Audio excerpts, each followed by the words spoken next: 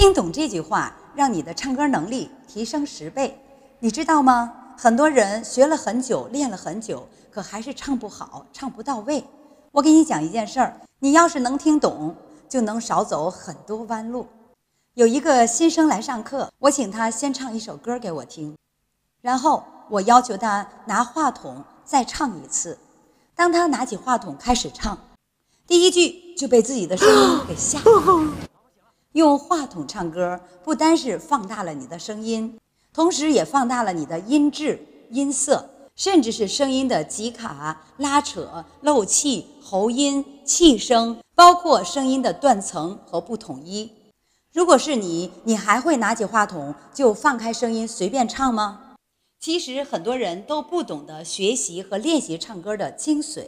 学唱歌不单是要唱出好的声音。练出好的声音，同时还必须要听到自己真实的声音，就好像我们在照镜子，你在镜子里看到的自己，那才是大家眼里看到的你，而不是你想象那样的自己。唱歌也是如此哦，在日常和平常的时候，你所发出的声音，你所听到的歌声，只是你自己感觉上的歌声，而不是你真实的声音。唱歌最难的就是你根本听不到自己真实的声音，因为耳朵它是有欺骗性的，跟你想象的不一样。我们在学唱歌的过程中，根本不只是在唱歌，同时要像听众那样的听自己的声音，而不是听老师讲告诉我我的声音是什么样，并在这个听的过程中不断去修正自己的声音。也就是说，学习好的唱法是非常必要的。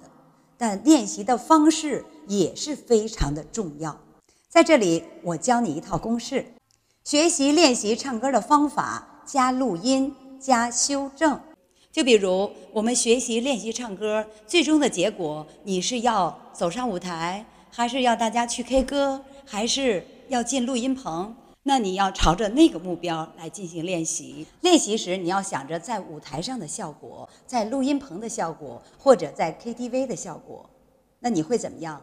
直接没有话筒的音效去练习，你可能会用更多的气力，而且更感受不到你的声音在声音的通道里在运行，啊，甚至咬字更多的是推到嘴上。为你，我用了半天的积蓄，漂洋过海的来看你。这样，你也许感觉还不错，也还可以。但是，同样这个状态，你在拿着话筒的时候，你要听到的，你就会感到很意外。为你，我用了半年的积蓄，漂洋过海的来看你。如果我们在练习的时候，你就收着来唱。为你，我用了半年的积蓄，漂洋过海的来看你。这样，你每一次的练习结果会有很大的不同。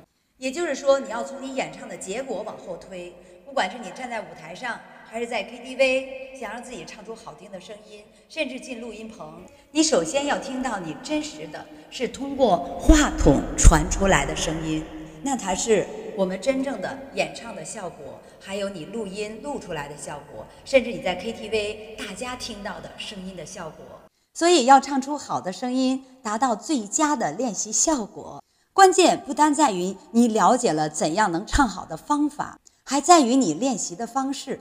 用话筒练习，通过声音的录制，对于自己声音的运用和控制，都能得到很好的提醒和帮助。好的唱法，好的发声方法，可以让你的音色、音质、共鸣，甚至更多的歌唱技巧得到淋漓尽致的展现，甚至可以挖掘出你本身的歌唱潜质。而好的练习方法、好的练习方式，可以节约你大量的时间成本。你同意吗？同意的就给个双击。在这里给大家推荐一下我的专栏：从唱歌小白到想唱就唱必修课。让你从建立歌唱思维和正确的歌唱认知开始，看清自己该学什么，该练什么。通过简单实用的方式和方法，从根本上解决你唱歌过程中所遇到的问题。我是回老师，学唱歌慢慢来会比较快。